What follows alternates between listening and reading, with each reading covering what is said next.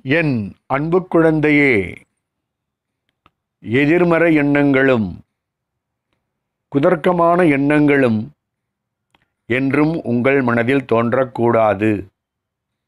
அப்படி தோன்றாமல் பார்த்து கொள்ள வேண்டும். நல்ல எண்ணங்கள் மட்டுமே உங்கள் மனதில் எப்போதும் உதிக்கும் வண்ணம் நீங்கள் வாழ பழகிக்கொள்ள வேண்டும். நான் யாருக்கும் கெடுதல் நினைப்பதில்லை. கெடுதல் செய்வதும் இல்லை. எனவே எனக்கு யாருமே பாபாவின் நல்ல ஆசிர்வாதத்தால் தீங்கு இழைக்க முடியாது என்ற நம்பிக்கையும் தைரியமும் அப்போது உனக்கு வந்துவிடும்.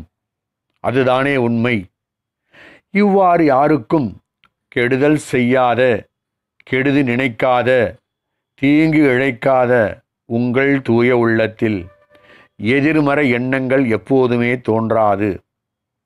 நாலு பேருக்கு நல்லது செய்வதன் மூலம் சிறு உதவி என்றாலும் உங்களால் இயன்ற அந்த உதவியை தேவைப்பட்டவர்களுக்கு மனதார செய்யும்போது உன் சாயப்பாவின் ஆசிர்வாதத்தால் உங்களுக்கே தெரியாமல் உங்கள் கருமவினை கெடுபலன்கள் குறைந்து போய் இறுதியில் அதன் பிடியிலிருந்து விடுபடுவாய்.